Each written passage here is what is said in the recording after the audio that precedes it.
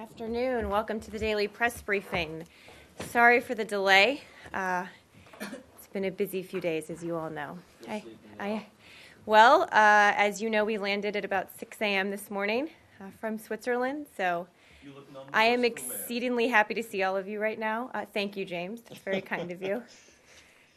Couple updates at the top, and then I will get to all of your many questions that I'm sure you have.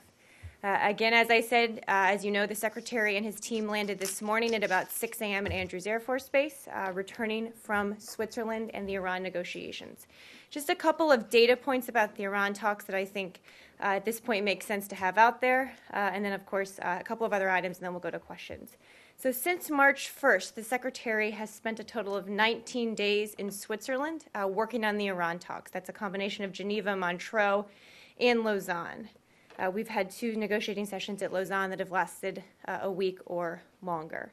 Uh, surrounding the Switzerland trips, the Secretary had 17 calls with other P5 plus one foreign ministers. So, over the last week, I know there have been a lot of questions about who's where, when, uh, in terms of his colleagues, when they're in Switzerland, when they're not. I think this just uh, shows that even when they're not all together in one place, they are constantly coordinating, strategizing, uh, updating each other. Uh, that's certainly been the case as well.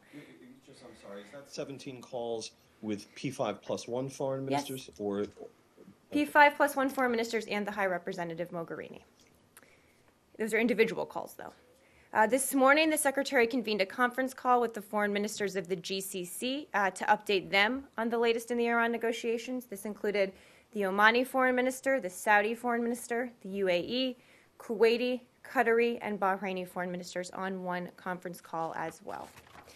Uh, Deputy uh, Secretary of State Tony Blinken will travel next week to Lebanon, Saudi Arabia, the UAE, Oman, and Tunisia to meet with a wide range of government officials and non governmental experts to discuss key political, economic, and security issues. Uh, first, from April 5th to 6th, Deputy Secretary Blinken will meet with senior government officials in Beirut, as well as civil society representatives working on humanitarian and education issues in Lebanon. He'll then travel to Riyadh on the 7th, where he will meet with senior Saudi officials. On the 8th, he will travel to Abu, Dhabi and meet with senior Emirati government officials to discuss our continued cooperation on a wide range of bilateral, regional, and global issues. In uh, Muscat on April 9th, he will meet with senior Omani officials to discuss a broad range of bilateral, regional, and global issues as well. And his final stop will be in Tunis on April 10th to meet with senior Tunisian government officials and civil society representatives.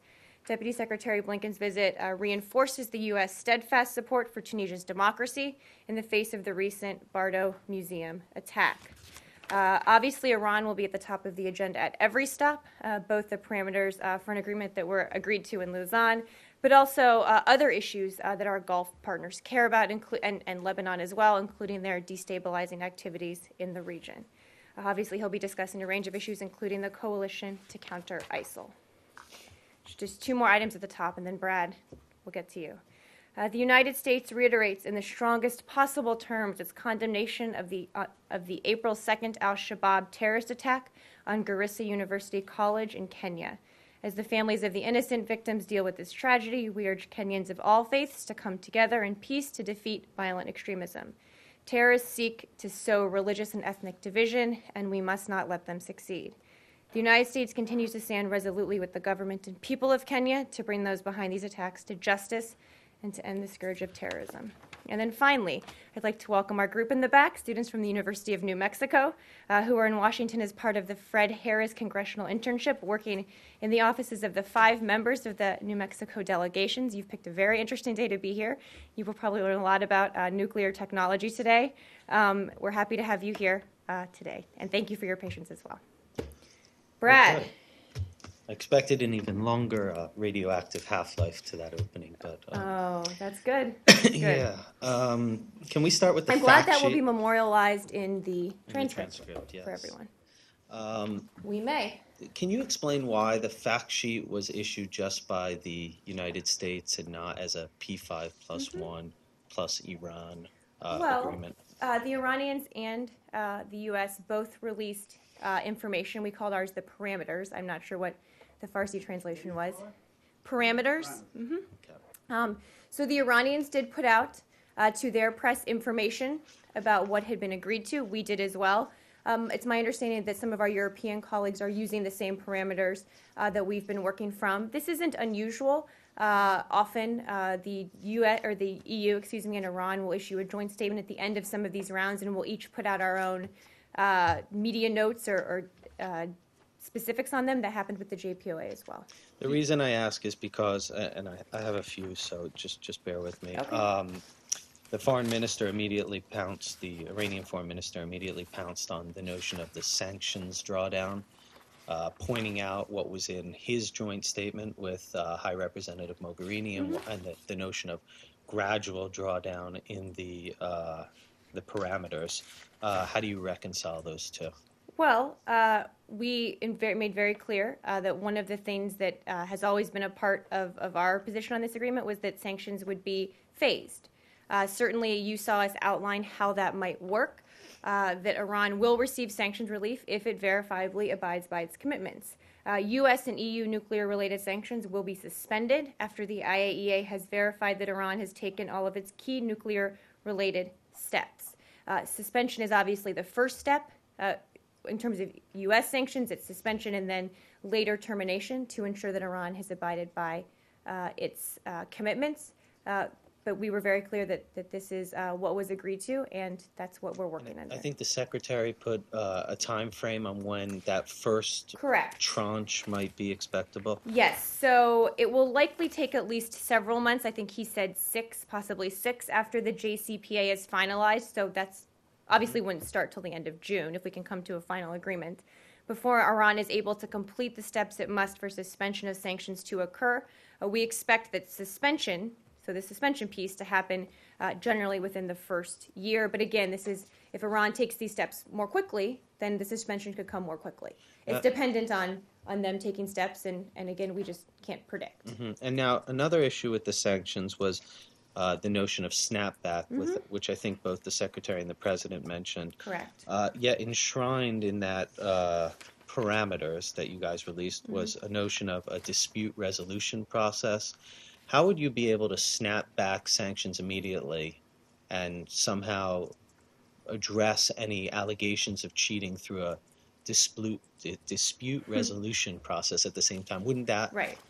imply that that takes some time? Well, the dispute resolution process, uh, all the details still have to be worked out, uh, but it would enable any uh, GC, JCPA, excuse me, uh, participant to seek to resolve disagreements about the performance of commitments, uh, certainly uh, with a process. And the details about those are still being figured out.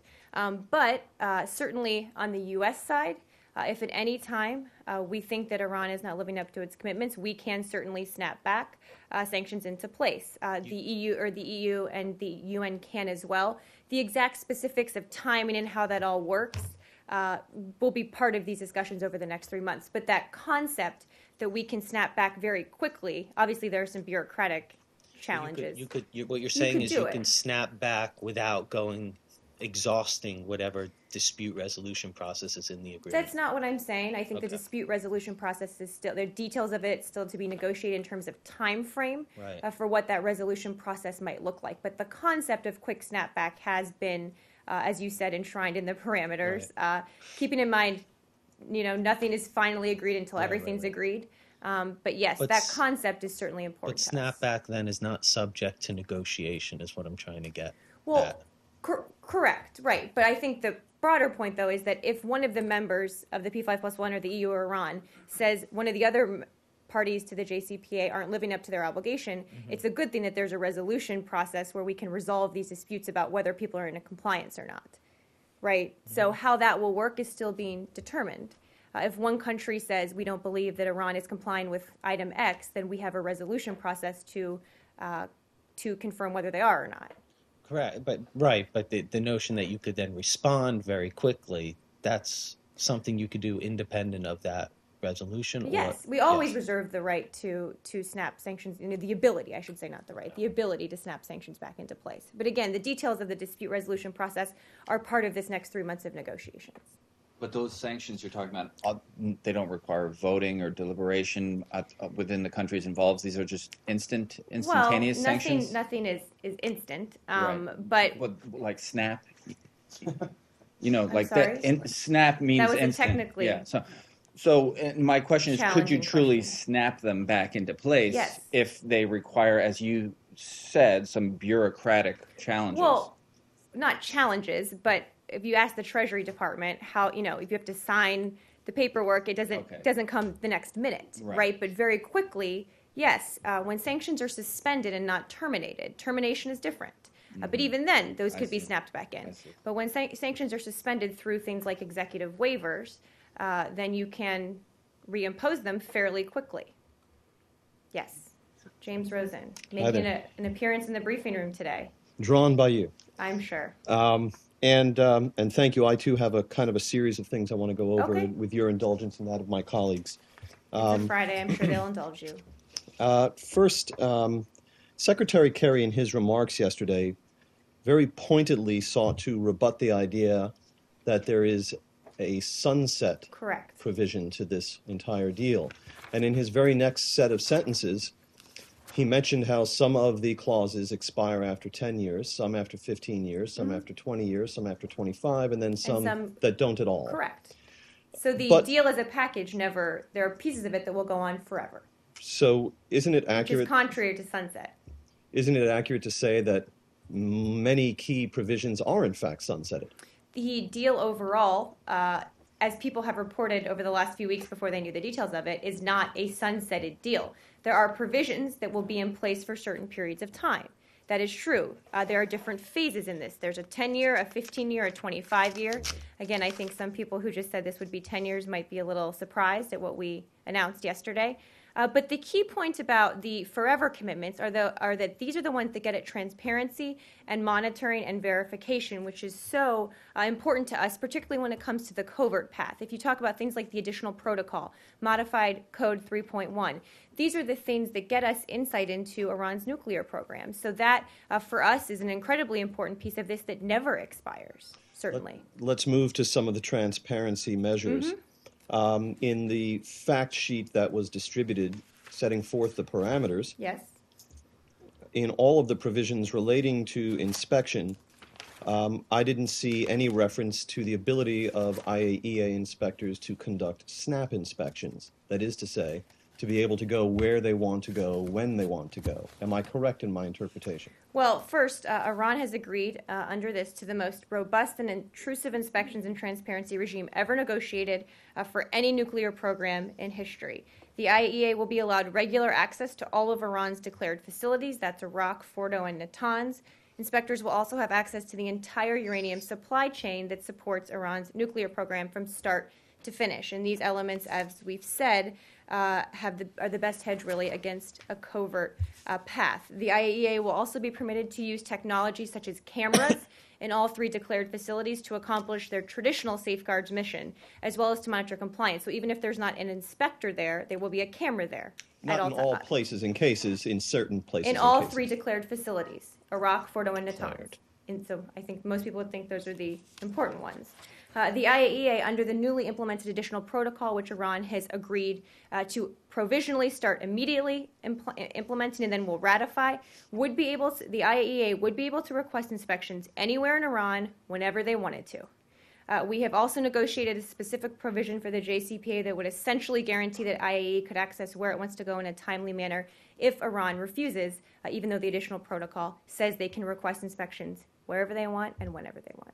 So, just to put a fine point on this, the IAEA inspectors will be able to go where they want, when they want. Under the newly implemented additional protocol, uh, the IAEA would be able to request inspections anywhere in Iran whenever they wanted them. That They is can part. re- wait, Excuse me. That's part of the question. additional the same protocol. question. That's part of the additional protocol, Okay, so it is the view which of the- Iran has agreed to. it is the view of the United States government that, notwithstanding decades of massive deception on the part of Iran, that Iran should be entitled to all of the benefits and codicils of the additional protocol that they disregarded for so long. I, how, I'm not sure how the additional protocol is benefits to them when it lays out a very stringent inspection and transparency regime they will be party to. Well, that's not a benefit to them. That's a restriction on them. Well, but for example, um, the additional protocol. And if they don't live up to it, they would be in violation of a JCPA commitment. Okay, so just just not to get too bogged down, they cannot go wherever they want to go when they want to go You're telling me they can request to go wherever they want to go when they want to go. And then I said we have negotiated a specific provision for the JCPA uh, that would essentially guarantee the IAEA could access where it wants to go in a timely manner if Iran initially refuses. Now, two more points on that. The details of that are part of what will be worked out in the next three months. But again, if under the IAEA, the or excuse me, if under the additional protocol, the IAEA has this ability, Iran has to maintain compliance with the additional protocol to be in compliance of the JCPA and to not have sanctions reimposed. Um, moving just uh, just a couple. So again, more this is the most things. intrusive transparency regime that has ever been negotiated in the history of any nuclear program. The the measures that are included in this are things uh, that I think many people would look at and say, you know, without this, we will have none of these. Without this agreement, we will have none of this transparency. So you you would expect all military sites that the IAEA wants to see to be the, for them to get access to Well, we are still negotiating over all of the people and places where the IAEA will have access required when it comes to possible military dimensions. Uh, we have a path forward here, an agreement that, that Iran will undertake a PMD access list process to, to form out that list when it comes to potential military sites. Uh, that's part of what will be negotiated over the next three months, but in principle, uh, we have uh, agreement that that is a process they will undertake. But you can't you can't say with definitive clarity at this point that, for example, inspectors will be allowed into Parchin. Well, we would find it, I think, very difficult to imagine a JCPA that did not require such access at Parchin. Now, it's been my observation in studying the transcripts of the briefings very closely that um, the briefers uh, at this podium have been kind of all over the place in terms of whether or not the resolution of the PMD issues was in fact uh, a part of the joint plan of action for the past 16 months. There have been times when the briefers have indicated that that was in fact embedded in the JPOA, and times when the briefers have uh, sought to argue that in fact that was a totally separate process of some kind. I don't think I've ever argued that. I think that I think you're conf- conflating a couple issues, and I'm happy to unpack it a little bit. But if you have a Be question, all that as it may. well, right. But I Um, think you're Again, I think you're mischaracterizing. Why it. should why, I understand that? Why should uh, Americans have faith that over the next three months, um, U.S. and allied negotiators will be able to uh, arrive at some satisfactory process for resolving the PMD questions Mm-hmm. When not only has Iran failed to do that over many years' time, but in fact failed to do it over the course of the JPOA when they were, were required to do so? They, if you look very specifically at the language in the JPOA, I was there when it was finalized. I'm very familiar with it. It said in order to get to a, a joint comprehensive plan of agreement. So there was a part at the end that talked about what we needed for a final agreement, that uh, past and present concerns would need to be resolved.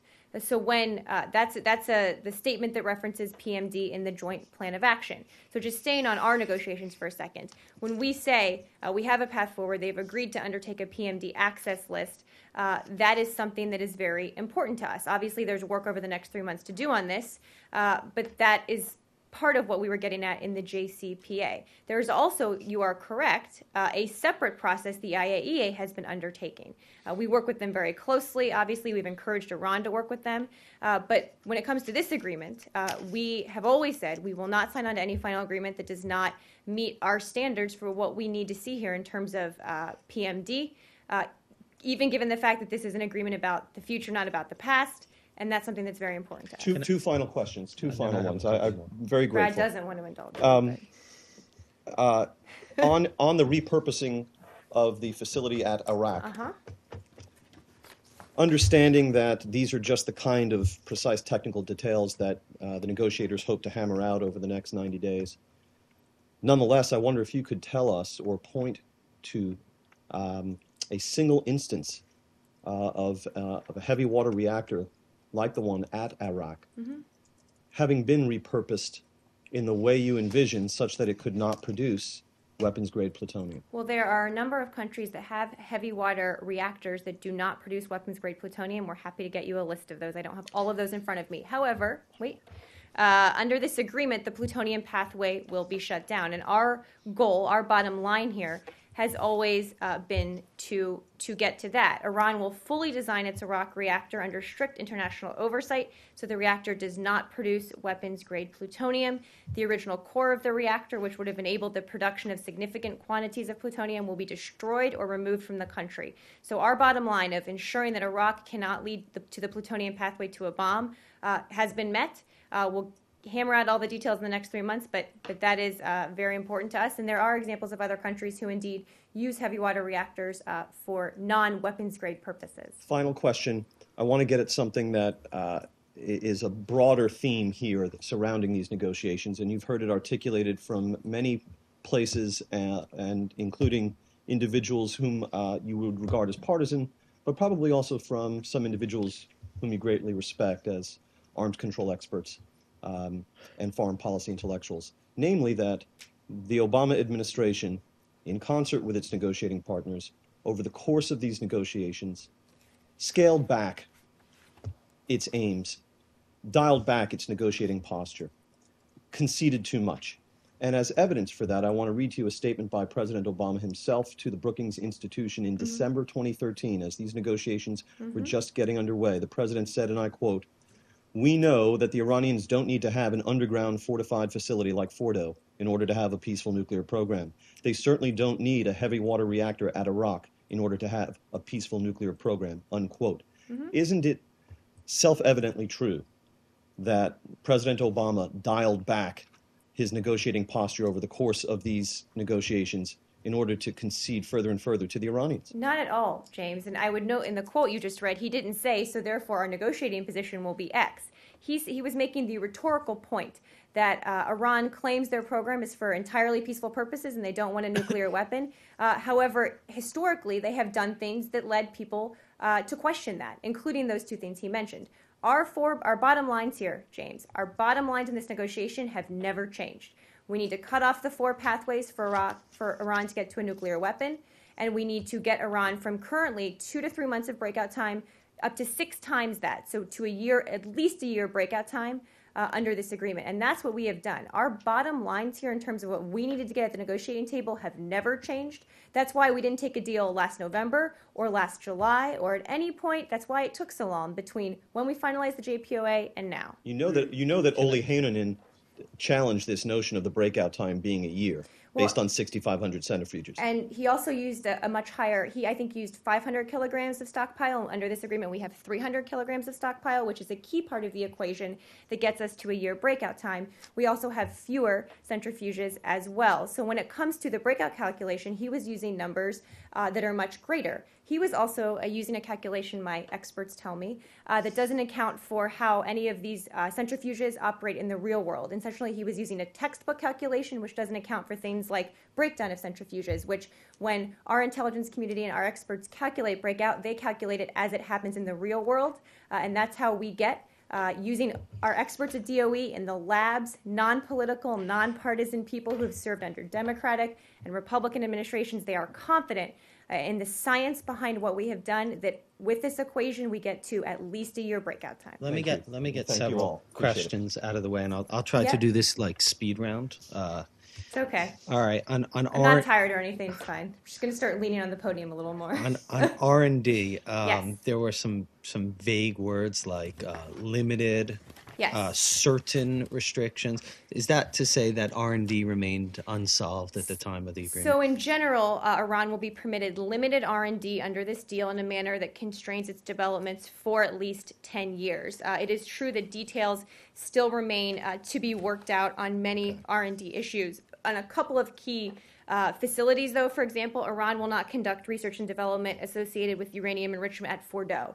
For example, so in general, we still have some R and D issues to work out, and those are among the most challenging, to be frank. on years 10 to 15 there was no mention of the breakout time is that still to be determined or is there no limit whatsoever on breakout time So we uh, are. We've always said again, our bottom line was at least a year uh, breakout time for at least ten years. Yeah. Uh, given that some of the uh, R and D is still being negotiated and some other issues, uh, I don't have more specifics than that. But obviously, we want to push breakout as far as possible. okay and then uh, I'm, I'm just going to do them fast sorry uh, is june It's okay. I haven't briefed. is june 30th a fixed deadline or is it a flexible deadline like uh, we saw on march 31st Uh, well, uh, I would remind people that it just took us a couple extra days to get to this, which I think most people would say is probably within the margin here.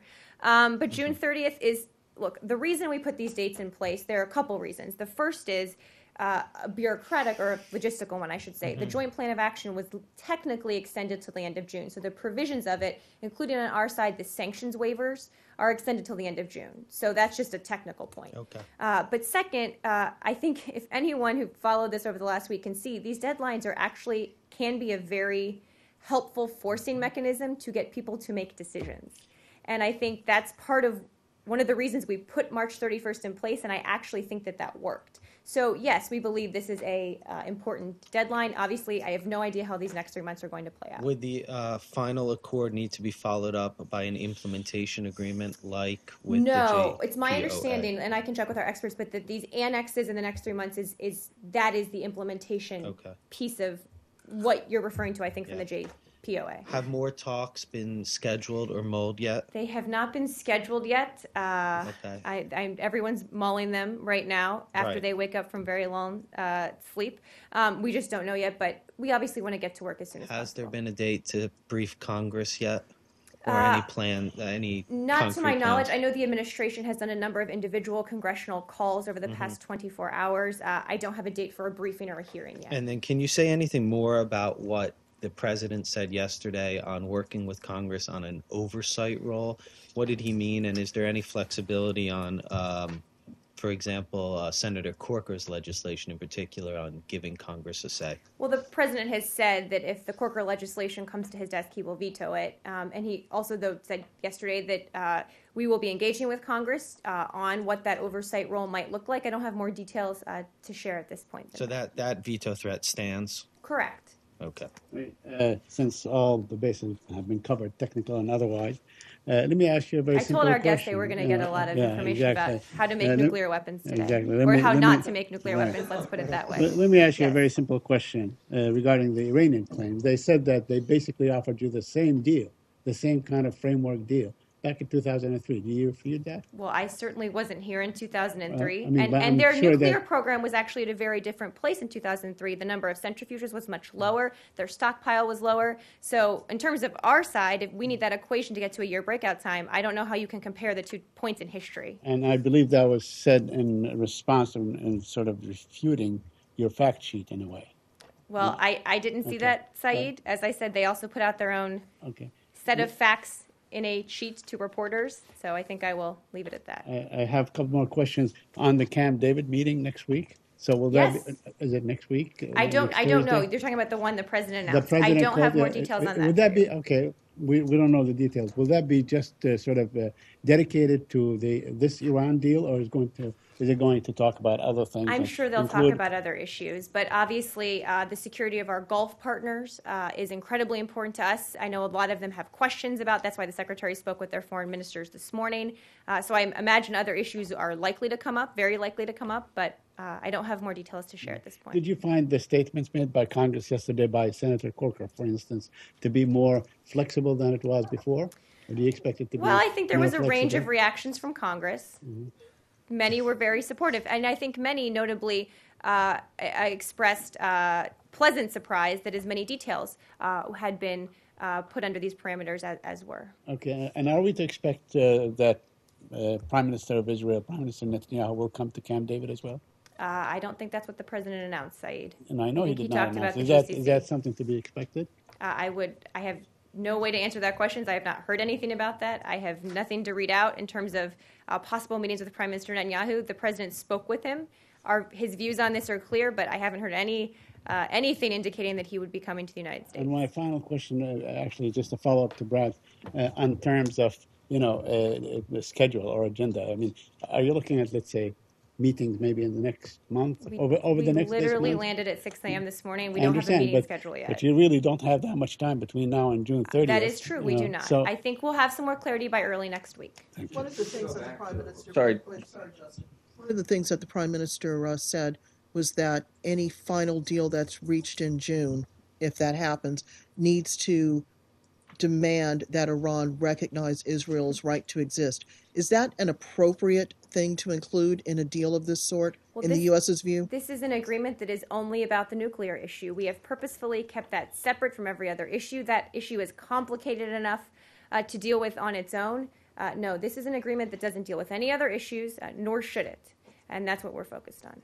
To go back to Brad's question about the uh, understanding, did you attempt at any point to put together a, a joint parameters note rather than each do individual Uh, notes I mean, about we- what was what we- agreed upon? I mean, because if it was an agreement, you would think that one uh, parameters could Not could suffice. necessarily. I mean, keep in mind this isn't the final agreement. Right. So this, at, we believe this was most appropriate at this point. We had the look. The conversations inside the room were focused on the substance, uh, not necessarily what was put down on paper and who signed on to it. Uh, we had discussions with them about what we would say publicly, and they let us know they would say things publicly. And I'm not really concerned about sort of this, you know, how they'll they'll they will sell this back at home. Right. But we certainly had conversations with them about the need, our need certainly uh, for our uh, purposes to be able to say as much of this publicly. And you didn't have any problems with the, the stuff that they put in their parameters? Well, I, haven't I don't them. read Farsi Uh-huh. yet, unfortunately. Um, so I don't know exactly what all the details were, but I haven't heard uh, much feedback from people. Yeah. Google translates now. I, always really accurately too. I think. Um, and, but so would you be Not willing? sure I'm going to do you rely have on Google copy? Translate to answer questions at this podium. Right. Do you do you have a copy of them, and would you be willing to share their parameters? Uh, I'm, I think you can probably ask them. Okay.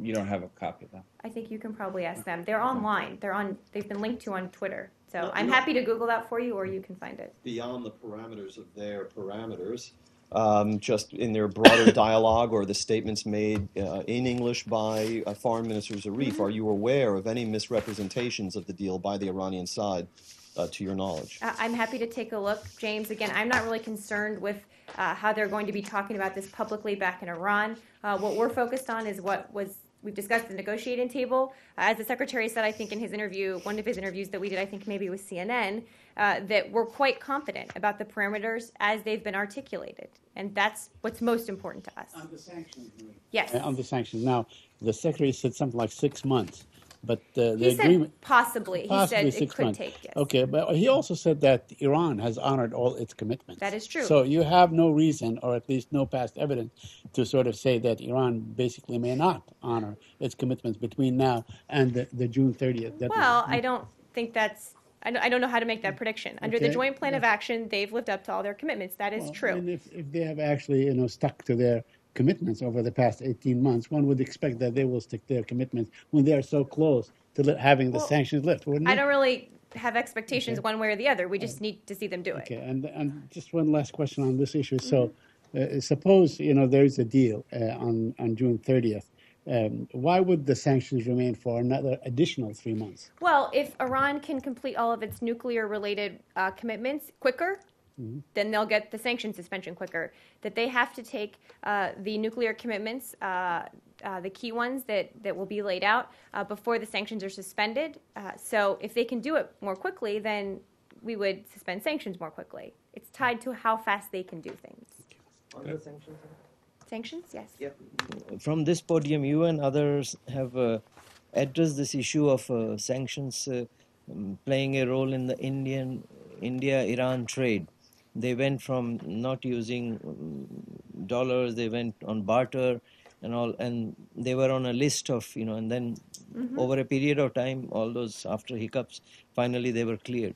So have the Indian government been told about the what is coming, or they come to know through media, or is are you going to? I'm you know, sure we'll be reaching out to them. Again, uh, anything that talks about Iran's oil purchases, none of that would change, obviously, until A, we either get a joint comprehensive plan of action finalized uh, in June, by the end of June.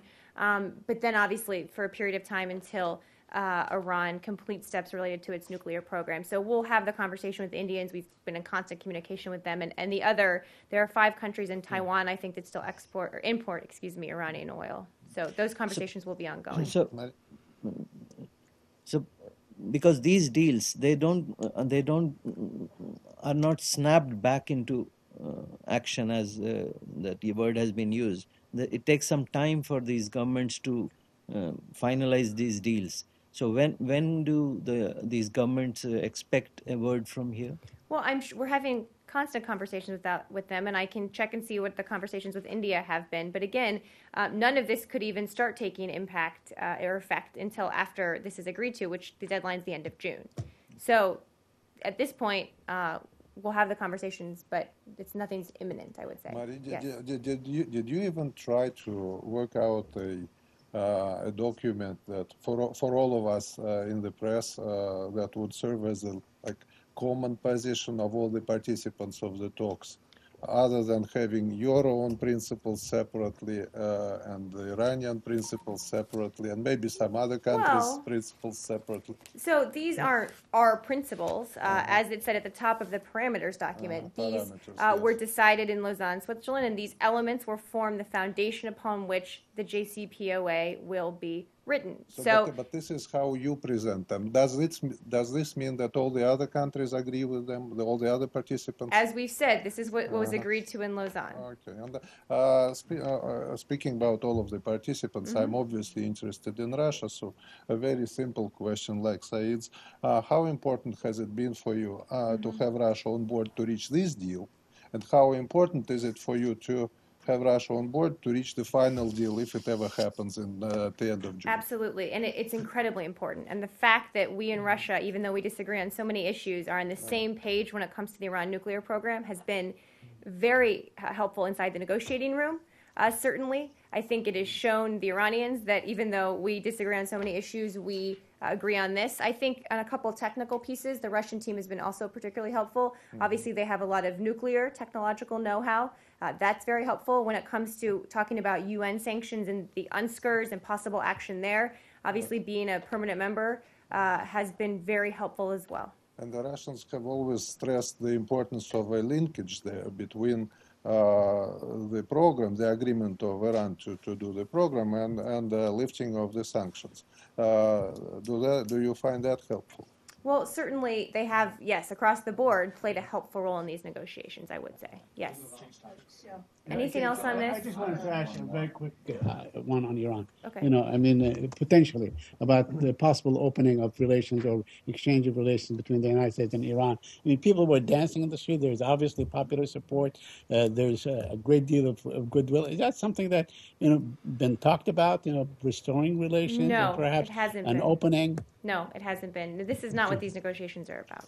Okay. You, you did a good job laying out what you guys got out of the deal, but as we know, and just for, in layman's terms, you know, all negotiations come with compromise. So if you had to lay it on the table, what concessions would you say the U.S. made in these talks? Well, it's not about concessions, Justin, because It's because not. Okay. It's not. No. Look, there are a lot of technical ways, as, as we've always said, uh, to put together the number of centrifuges, the type, R&D, stockpile, to put that all together to cut off the four pathways and get to a year breakout. There are a number of different ways you can configure that at all of the different facilities. So you made no concessions, is what you're saying. This, I'm saying this isn't about concessions. This is about us having our bottom lines met, that we needed to make sure the four pathways were cut off and that they got to a year breakout. There are a number of different ways you can do that. We needed to try to find a way that also uh, Iran could agree to uh, that met, you know, what they said they wanted, which was a civilian, peaceful nuclear program. Uh, obviously, uh, you go back and forth and you trade ideas and you try and find something where both sides can get to yes. But we absolutely made no concessions uh, on our bottom lines, and that is the only thing that's important here. What I don't understand is that breakout time was was so significant Mm-hmm. and so guiding in your efforts. How come you've agreed to a framework and you don't know what the breakout time would be in year 11? I'm not saying we don't know. I'm saying that we haven't agreed to all of the specifics about what those years will look like, and those are con- those are conversations that will be ongoing. I understand you haven't agreed to the nuts and bolts, But the nuts and bolts what are is what matter when it comes to breakout. well, no, you you said uh, that you had this red line of a one year breakout time for the for first decade, 10 years. and the yeah. nuts and bolts work together Mhm. to reach that goal. And we're still working So out what the your- nuts and bolts will look like Right, for but those what is- years. Right, but you you reverse engineered it in essence. You had a one year breakout Mm-hmm. time as the goal, and then you found the ingredients to reach that goal. Correct. Correct. So, what is the goal now for year 11 to 15? Those are conversations that are ongoing, Brad. Look, these are these is part of what's going to be negotiated over the next three months. Our goal in general is obviously always to get Iran to as long of a breakout time as possible. And breakout timeline doesn't it's something that changes it doesn't just change overnight. It takes time to ramp up or ramp it down. So Which is why I didn't say year 10, day one. right. But no, I know, but um, these are ongoing conversations. fine. Was there any rough agreement on uh, the the division of uh, uranium stockpiles that would be diluted and kept on site and those uh, that the volume of it that would be shipped offshore? Uh, well, we that's one of the things that still needs to be negotiated. The disposition of the stockpile, the 300, kil- the uh, excuse me, everything but the 300 kilograms. Uh, as we've said, you can dilute it, you can sell it on the international market, you can ship it overseas. Uh, we're talking to them right now about what, or not at the moment. Right now, we will be talking to them in the next three months about exactly how to do that. What matters to us is that they get rid of it. Can we move on? Yeah, let's- yeah, Yes, let's we talk about can. Kenya, Can- please. Yep, Roz, go ahead. Okay. Um, this is the worst attack in 17 years since the embassy bombings. It's almost a year and a half since the Westgate Mall attack. Because Kenya has been trying to crack down al- on Al Shabaab, obviously Al Shabaab has essentially declared war on Kenya. There is a lot of criticism inside Kenya today about the seeming inability or unwillingness or lack of political will, whatever you want to call it, of President Kenyatta to not deal with what is a very serious security problem, despite intelligence being given to him by the US and the UK, despite the UK's warning to its citizens in the last 10 days to not visit parts of Kenya because of the threat from Al Shabaab. Does this building believe that Uhuru Kenyatta is dealing with the problem of Al Shabaab? And if not, what can be done on the part of the international community to try to shore up the security in this country? Well, a, a couple points. Uh, our embassy has been in touch with Kenyan officials, including their security services, in the wake of this attack and is providing assistance. Uh, in general, uh, Kenya is a partner in the fight against terrorism, and we work with them very closely uh, to try to improve their capabilities. Al Shabaab is a very serious threat, uh, and it is a tough challenge for the Kenyans. Uh, we provide a range of security assistance, including training and equipment, uh, to many key Kenyan military and law enforcement units.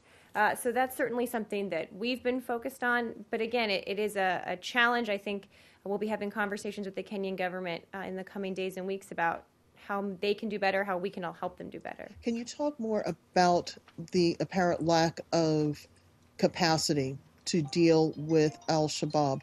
What is it that Washington has seen that the Kenyatta government has not been able to achieve or has been unwilling to achieve? Well, It- I don't think I have much more analysis to do for you, Roz. Obviously, this is a very serious threat they're facing.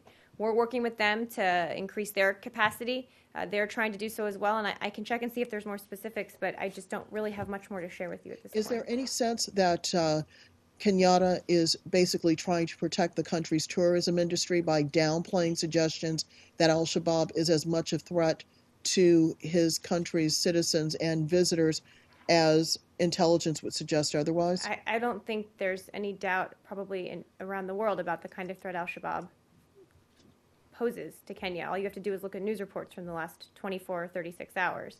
So I don't have much more analysis to do on, on the president of Kenya. Uh, but again, with Kenya writ large, we do have a long-standing counterterrorism cooperation relationship, and that's important to us. What can be done given that you still have a very fragile government next door in Somalia? What can the U.S. propose to do? Is it time to bring in the African Union and for the AU and the U.S. to discuss ways of shoring up their ability to support these two countries as they're trying to deal with It's, Al it's a good question. I don't have any other predictions to make for you about how we can help more. I'm happy to talk with our team uh, and see if there's more we can say about this. I just don't have much more. Yes. What's the U.S. is doing in Yemen Uh, in terms of what? in terms of assistance for the Saudi-led mission. Uh, I don't have anything new, I think, to share today. okay, and Nothing beyond refueling? Uh, well, I don't think we ever said it was limited to refueling. We said it was intelligence, logistical support. Uh, let me see if I have any more here. I mean, not, certainly nothing new. Uh, I don't think it's new that we're doing it. I think it, the specificity just had not been out there before, but it's it's certainly not new. It's logistical and intelligence support. Why would they need refueling Okay. when it's really, it's a very short distance? I mean, I'm trying to I, understand. I'm why- happy for you to ask the Department of Defense Okay. about Uh, why let that me- might be needed. I needed. have a follow-up on Yemen.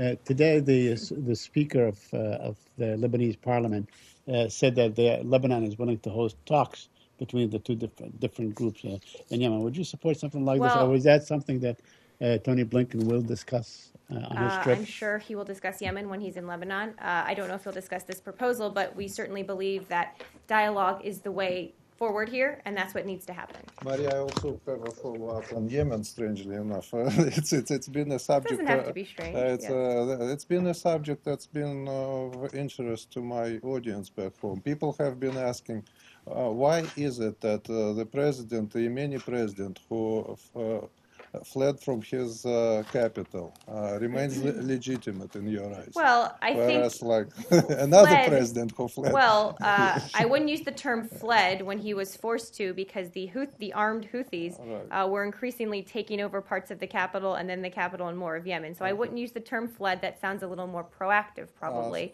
Um, but there is a constitutional process in Yemen Right. for who is the president. right. And and and and, Odium said he left voluntarily when he well, left. that was the very first day, but then I think it was very clear that it was because of the security situation that he left the country. it was very clear, I think, at the time to all of us. But yes, uh, do, do you have? Wait, were you done? May I, Sorry. yes, may I ask Sorry. about this? Uh, if, if, if you refer to a constitutional process, then you obviously you uh, understand where I'm drawing a parallel with uh, so the Ukrainians, right? Uh, was the constitutional process observed in the Ukrainian case? Uh, I'm not going to draw parallels here. We've been very clear how we feel about Ukraine. And it was also, last time I checked, major parts of Kiev weren't being taken over by an armed rebel group when President Yanukovych left. So I think it's pretty different. Um, just just on Yemen, uh, Al Qaeda in the Arabian Yes. Peninsula has made significant gains in the last few days, while you were in Swiss luxury negotiating in the wee hours of the morning. Um, but uh, th- there was a prison that was Yes. uh, where all the inmates were freed. There was a military base overrun. Uh, how concerned are you that the fighting between the Houthis and the and the you know the Sunni forces Mm-hmm.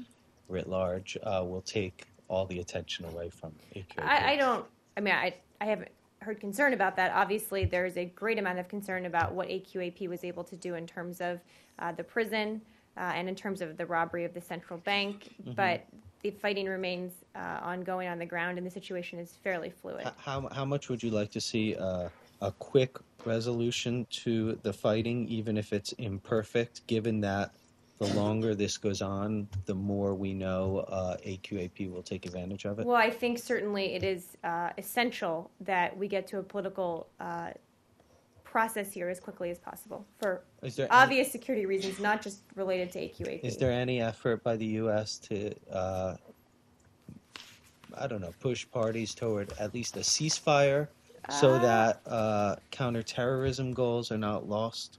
Well, I don't know about a ceasefire specifically. I do have just one quick update. Sorry. Uh, Ambassador Tueller met with President Hadi on April 2nd in Riyadh. I don't know if we had put that out there yet, but I'm happy to now. Um, we're certainly in conversation with him about uh, getting a political process. Obviously, the Houthis are the ones who initiated this military uh, action, uh, and I know other people have been talking to them uh, to try and urge the same thing. Different subject. Oh, go ahead. A couple more on Yemen. Uh, the leader of Al Qaeda, Ayman al Zawahiri, uh, said that uh, he's going to dissolve uh, the organization and have each group function as an autonomous or an independent, as a matter of fact, organization. I hadn't seen that, well, that, that's what he's saying. Oh, so I'm happy to take a look at that. uh, that is likely to complicate the situation for you, especially in Yemen. Well, I think for all intents and purposes, uh, many of uh, Al Qaeda's affiliates are already acting very independently. I mean, AQAP has enormous ties to AQ core, what's left of it, in Afghanistan and Pakistan, um, but certainly, obviously, operates uh, very far away from AQ core. Uh, they have funding, they have leadership. Uh, if you look at other AQ uh, affiliated organizations, uh, they certainly operate uh, independently, even though they're still affiliated as well. So I'm not sure what the practical impact might be from something like that. And again, I, I hadn't seen his comments. Few more on this? Marie, if I, if I can Let's go just do a back few for, more. For, for a second, yes, for a second, to my line of questioning. Mm-hmm. Uh, President Yanukovych, when he fled, his residence was immediately uh, mobbed, uh, captured and ransacked by, by, by, by the mob in Kiev. And then he claims, I don't know if it's true or not, that, but he claims that he was uh, under attack when he traveled, that people shot at his uh, car and he was under immediate uh, physical threat. Well, I so I don't see how, yes, those. yes, I, I don't see how you different. can. Uh, uh, my my, my uh, my question is the same. Uh, the similarities between the two cases are striking. Uh, In that there aren't and- many? Huh? In that there aren't many similarities? No, no, no. There, Oh, there are a lot, okay. I think. But uh, Okay. anyways, We can I, agree to I- disagree. Mm-hmm. Okay. Uh, I, I wanted just to uh, uh, remind you also that uh, in, in about a month we'll have uh, an anniversary of one of the worst atrocities in, in recent uh, history in Europe, uh, of the torching of, of, of this uh, building in Odessa uh, uh, during May Day holidays, uh, where uh, several dozen people were killed, uh, were uh, burned alive and clubbed when they uh, tried to escape. Uh, at that point, you uh, condemned the incident. Uh, and uh, if I remember correctly, asked for uh, an investigation. Mm-hmm. Now, a year later, I, I, I will be asking you Okay. about the result. Okay? I appreciate the Okay, heads up. But I would also say when you said it was one of the worst atrocities in modern Right, European history, it right. was certainly uh, a horrible tragedy. As I said at the time, we condemned it. Um, but let's put that into context next to the downing of a civilian airliner, MH17, with uh, hundreds of people on board. Uh, with the uh, violence that the Russian separatists have perpetrated all over eastern Ukraine, the illegal annexation of Crimea, I think we need to put things in a little bit more perspective here. And we're moving on. on Yes, Yemen. Elliot. Are you able to confirm the death of an American citizen in Yemen? We can't. Let me see what I have on that. Uh, we've certainly seen the reports. Um, let me see. I have something on that. Uh, we're aware of the reports that a U.S. citizen was killed in Yemen on March 31st. We're working to verify the information. We cannot do so at this time. Are there any plans for the U.S. to take a more proactive role in evacuating U.S. citizens who are still on the ground in There are not. Why? Uh, well, first, uh, we have been warning for I think a decade now that American citizens not travel to Yemen, so that's not a reason why not to. I'm just reminding people of that. Uh, the second is that in each of these cases, uh, we have to make a decision uh, based on the security situation and what is feasible uh, to do. And given the situation in Yemen is quite dangerous and unpredictable, uh, doing something like sending in military assets, even for an evacuation, could put U.S. citizen lives at greater risk.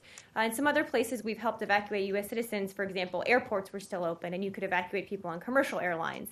Uh, obviously, that's not the case in Yemen. So uh, we're continuing to evaluate the security situation. We're continuing uh, to look at what our options are, but at this point, uh, no plan and no change in plans. Okay, but a, a, lot, a lot. Sorry, one more on this. A, f- a few other countries have uh, d- used their own hasn't- they military haven't assets. continuously been open because of the fighting. But go ahead. A few other countries have used their own military That assets to evacuate their citizens, and in one case, uh, a Chinese ship was used to evacuate foreign nationals. Mm-hmm. Um, are you, if you are unwilling to use your own military assets to evacuate U.S. citizens, are you considering asking other countries for help? Uh, I, have not, I have not heard that we're considering proactively asking other countries for help. Okay. What would you say? I mean, it seems like U.S. citizens, Yemeni Americans on the ground, are, are making statements to the point of uh, essentially feeling abandoned by their own government. Well, we're certainly not abandoning them, Elliot, but I think the challenge for us is that we have had very uh, strict travel warnings in place for a decade now for Yemen, including uh, multiple travel warnings telling people not to travel there.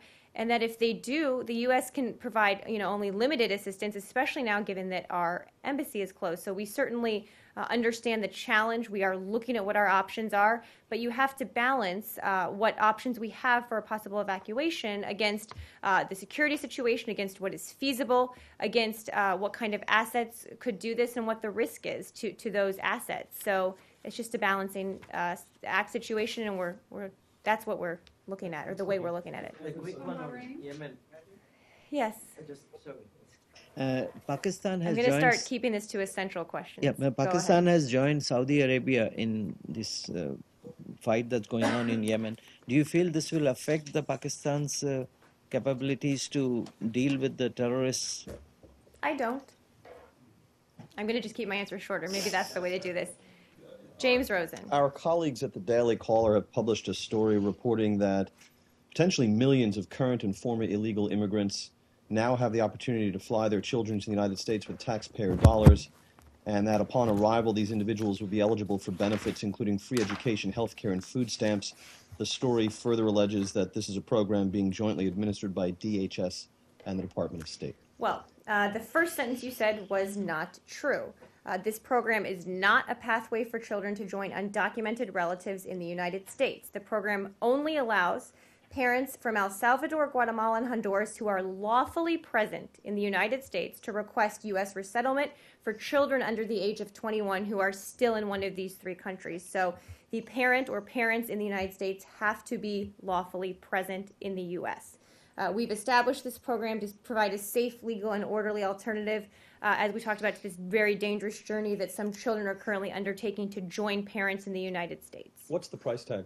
Uh, the price tag? I don't know. But I, it's- I it- don't know. It, it would seem that it would be significant, right, given the number of children we're talking about who would qualify. Well, I'm not. Sh- do you know what the number is, or are you just assuming it's high? I think it's a safe assumption, no? I don't make assumptions about things I don't know the facts on, so I would not make that assumption unless I knew. Is there some price tag associated with it? Uh, I'm happy to look. I think, uh, obviously, this is, I think, partly uh, administered by DHS. I'm happy to check and see if there is.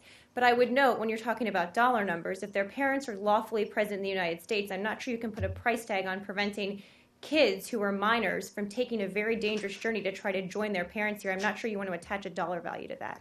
I'm not attaching a dollar value to Well, that. you I'm- asked about a dollar I'm, I'm asking about the dollar value associated, the price tag associated uh, with, With, the, with the joining provisions parents, being children made, with their parents? with the affirmative actions being taken. That's all. Well, but the affirmative actions being taken are joining children under the age of 21 with their parents who are lawfully present in the United States. I can see if there's a number we can get you, but I'm not willing to put a price tag on that. Thank you. Bahrain. Bahrain, and then I'll come over here. Yeah, there are reports that Bahrain is pushing or encouraging the U.S. government to lift arms restrictions as a way of helping them aid in the fight against Islamic State. Um, are there any such efforts underway or any discussions related to that, and would that be something Uh, the I- U.S. would consider? I haven't heard about discussions. We obviously continue to approve exports to Bahrain on a normal case by case basis of items related to external defense, counterterrorism, and the protection of U.S. forces. At this time, the U.S. government continues to withhold experts to Bahrain of things like crowd control items and other items that have a potential internal security use, uh, and have made no decision at this time to resume, resume those shipments. But on the counterterrorism issues, we evaluate them just on a case by case basis. A Couple more, yes. Yep. On the operations, uh, Yes. if you have any update, but the question is, there was a, a, a report or a story on the foreign policy talking about that the United States is helping the ethnic cleansing, which the argument was that you are helping Iraqi army and the Shia militia on the ground, and there are some footages also for that, and the United Nations uh, uh, Human Rights Office. So is there any mechanism that if the Tikrit is liberated, I think it is a large part of it is liberated, that you can oversee the process to prevent the ethnic cleansing and the uh, revenge act, anything like that?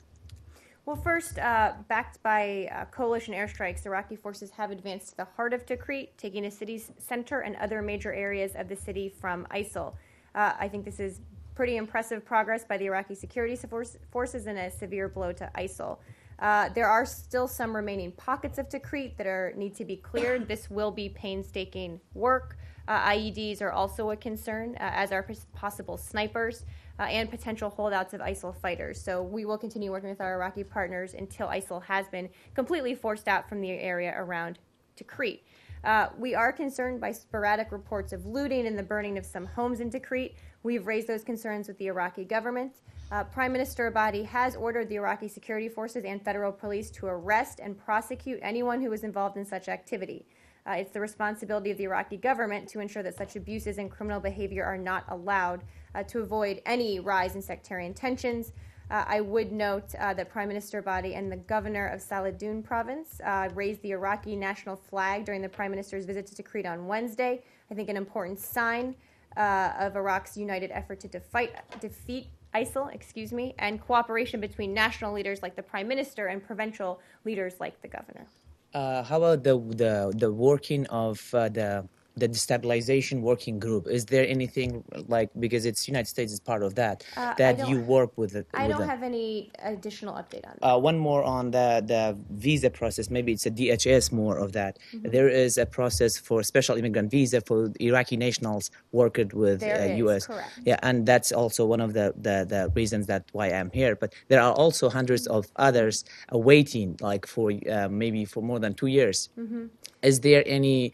uh, I think there is a, a- a- a- process going on in the court uh, suing United States government by a U.S. uh, retired general or colonel.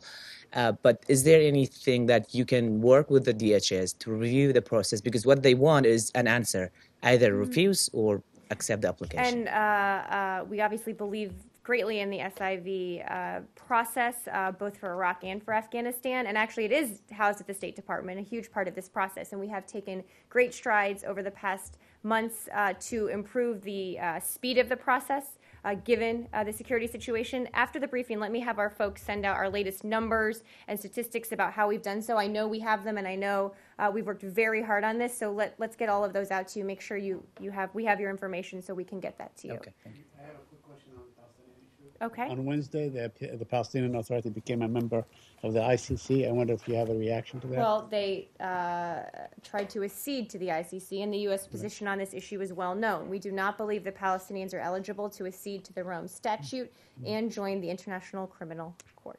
But I think the, the court disagrees with you. They said that they are entitled to be a member. Do you have any comment on that? Well, I think our position is clear. Yes, right here. Thanks, Maria. Just a brief one. If you have a readout from Sung Kim's visit to Moscow this week. Uh, I do have a brief one, I think. Let me see what I have here.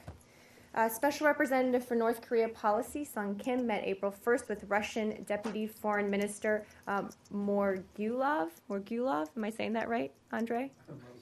Thank you. Uh, and other Russian officials to discuss a wide range of issues related to North Korea.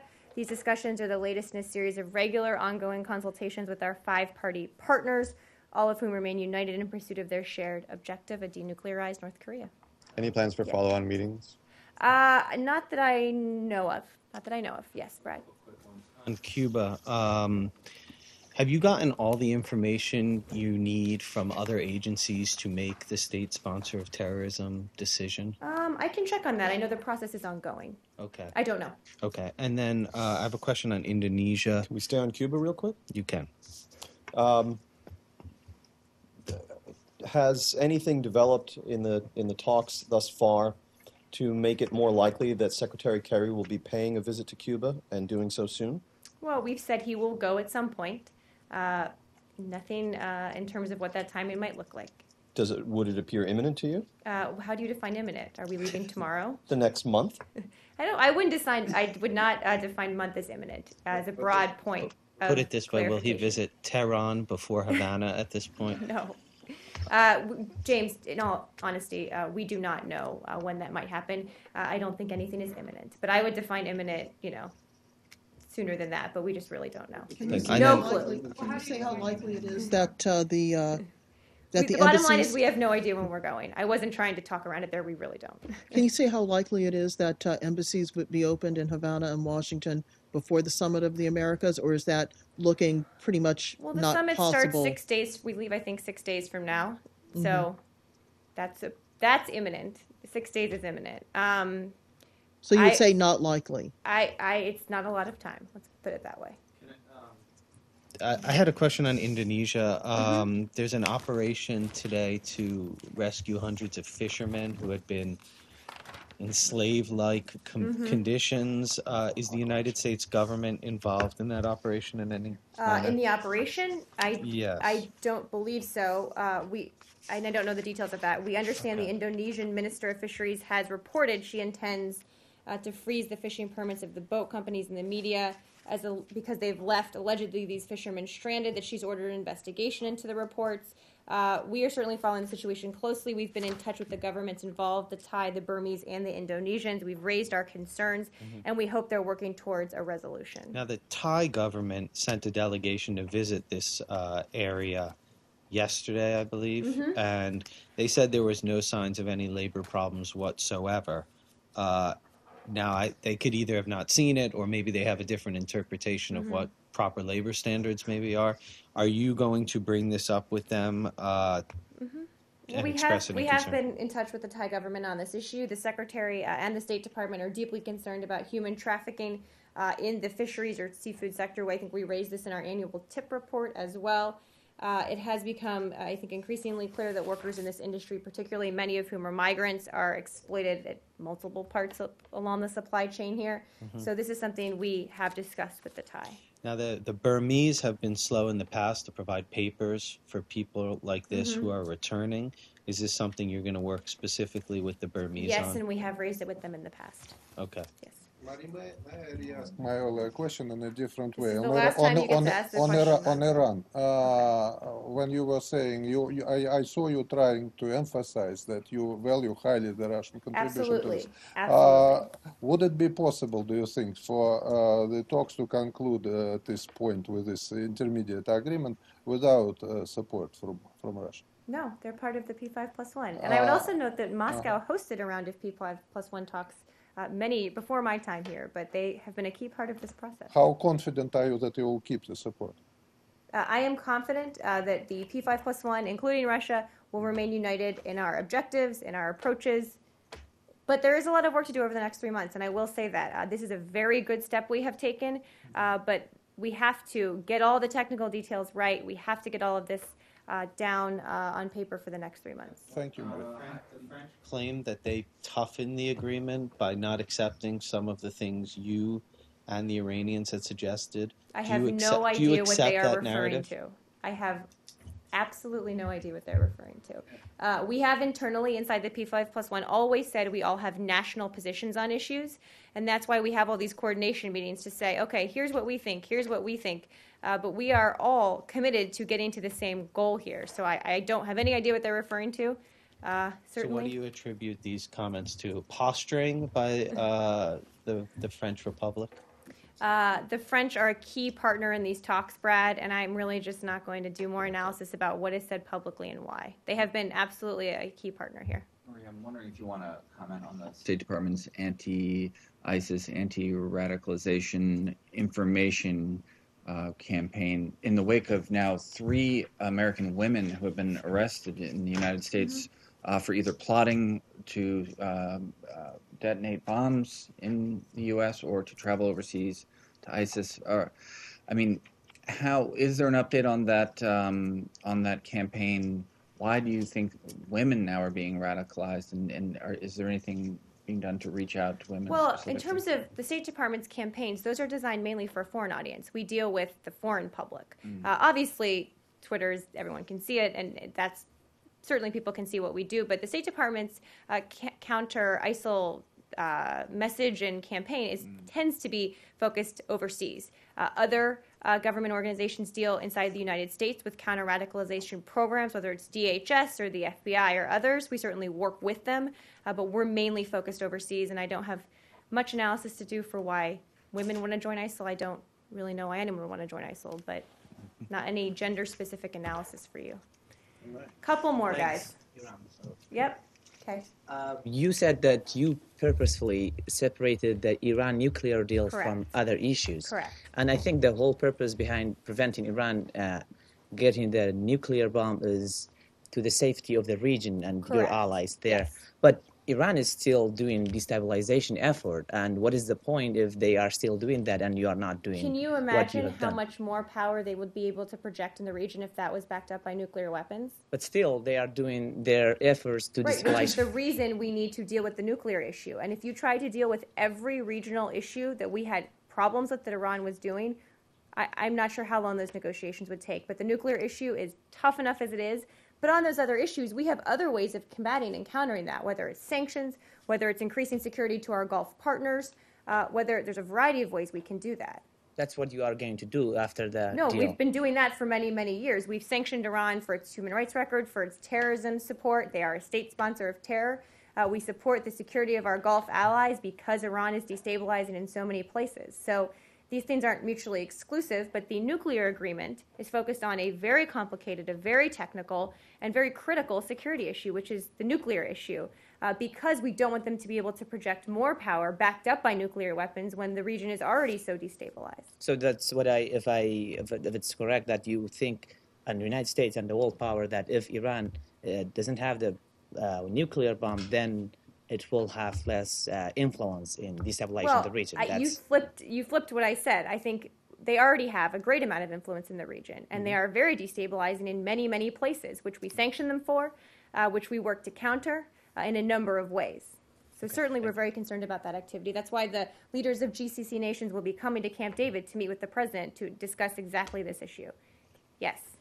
On Iran and North Korea, mm-hmm. and the Iran, I know the Iran and North Korea are the totally the different cases, but in some aspect, the Iran's the nuclear deals could affect North Korea's nuclear deals. I mean, the, my question is, what does this Iran's deal means for North Korea, and is there any possibility of resume? I mean, the resuming talks over the negotiation with North Korea about nuclear things. Well, I think that uh, these really are very different issues, and uh, what Iran chooses to do or not do um, doesn't have a lot of bearing on whether North Korea lives up to its interna- international obligations. So. Uh, we have said that if North Korea is open to, to coming back to the table in a, in a credible way uh, as part of the six party talks, obviously we believe the goal is the same. We need to get to a denuclearized uh, Korean peninsula. Uh, so they, the responsibility is on them, though, and you know, regardless of what's happening in other uh, uh, nuclear talks around the world. Everyone, have a great uh, holiday weekend, a happy Passover, a happy Easter, Good Friday. Um, we hadn't briefed all week. I take my responsibility seriously.